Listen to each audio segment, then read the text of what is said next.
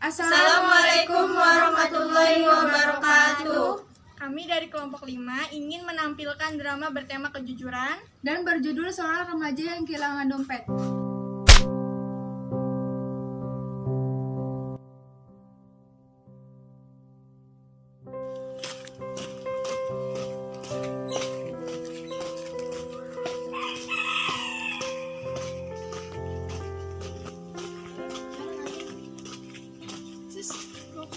Dari mana? habis beli pulsa. Pulsa yang murah, sepuluh ribu. Mau ikut arisan nggak? mau. Arisannya kalau boleh tahu di mana ya? Di rumah Pak RT jam? Sore ini.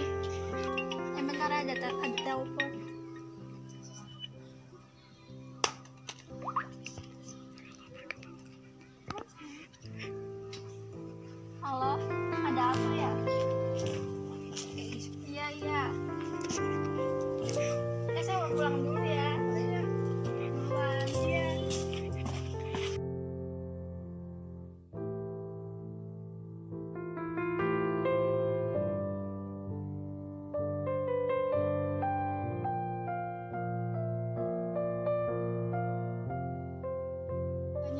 tugas prakarya kamu sih buat apa sih?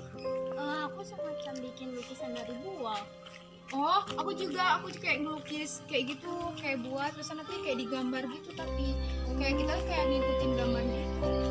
oh iya Tapi kamu udah dikumpulin belum sih? belum eh aku tuh mau nanya itu dikumpulinnya kapan sih Pit?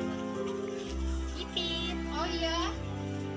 Oh, aku pas itu tuh kumpulin pas hari Sabtu, kalau nggak salah. oh aku belum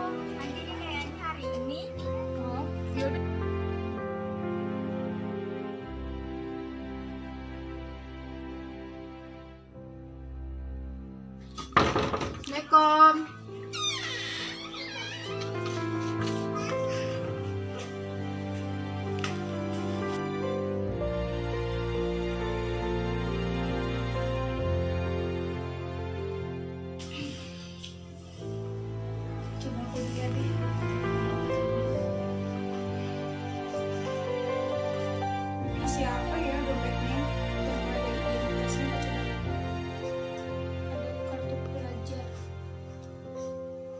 Atas nama Siska.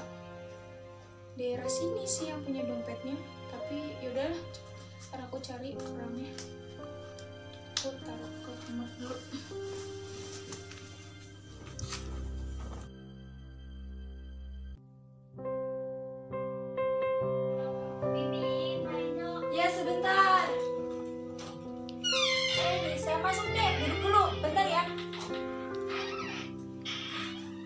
Bentar ya pipitnya lagi di.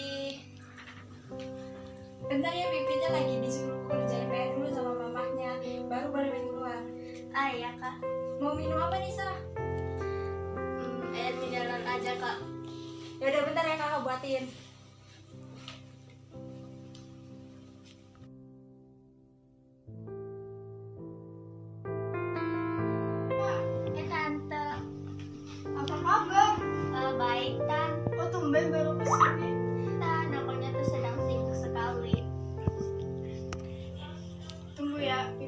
Pipitnya lagi selesai tugas ah iya kak Ini Nisa diminum ya. ah iya kak makasih Iya sama-sama. Mama bukannya mau ada arisan RT ya? Sekarang.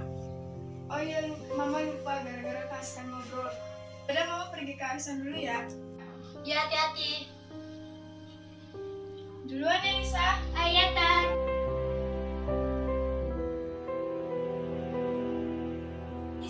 Nisa,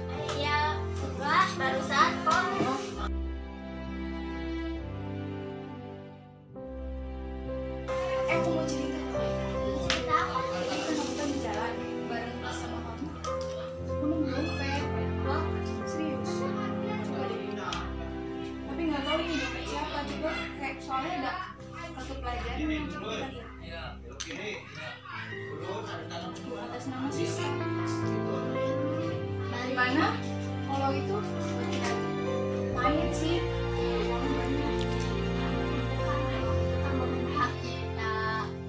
main tuh beli skincare. enggak ah aku nggak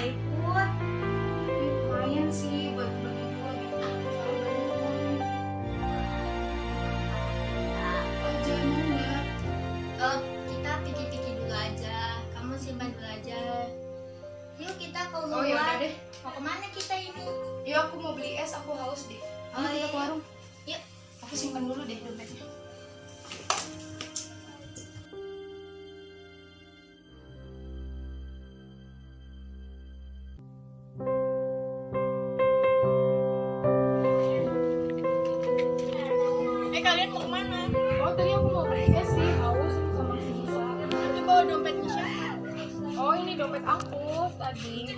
Masa anak seumuran kalian bawa dompet Iya sih. Emang ini dompet aku. Beneran. Iya beneran. Pakai dompet kita. Itu kita dapat nemu di jalan. Kenapa nggak dikembalikan? Ya kan lumayan nggak sih ada uangnya kita buat buat beli skincare gitu. Aku juga ada jelasin. Ya udah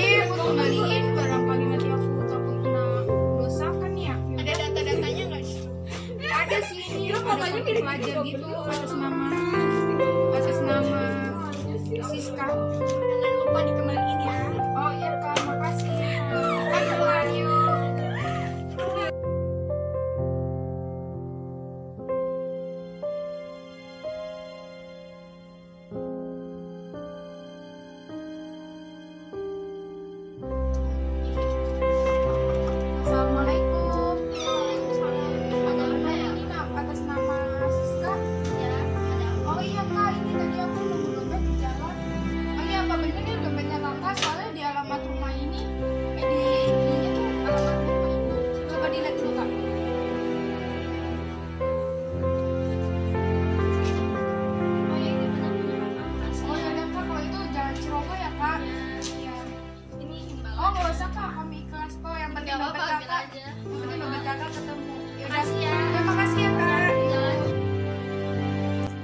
Amanat dari drama yang sudah kami tampilkan tadi adalah selalu berbuat jujur pada siapa pun dan jadikanlah ini pelajaran buat orang agar tidak menjadi orang ceroboh.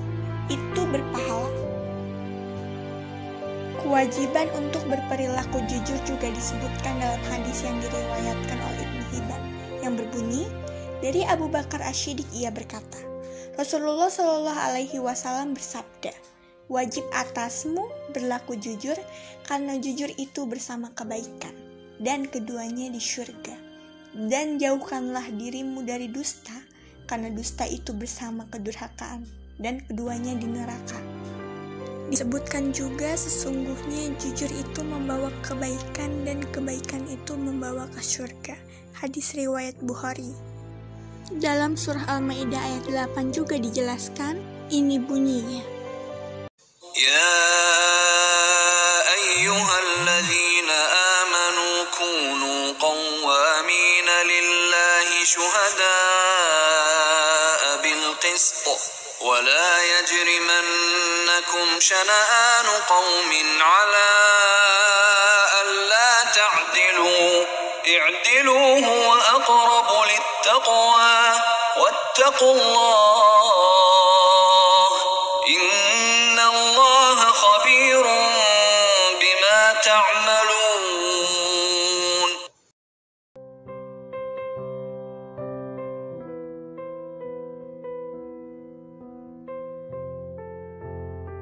Ada juga dalam surah Al-Ankabut ayat 3, ولقد فتنا الذين من قبلهم فليعلمن الله الذين صدقوا وليعلمن الكاذبين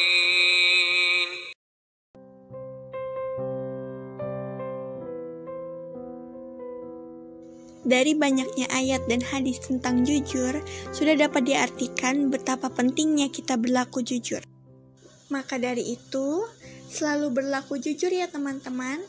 Jujur dalam perkataan dan perbuatan, pada siapa pun dan apa pun keadaannya. Insya Allah, kalian selalu berada pada kebaikan.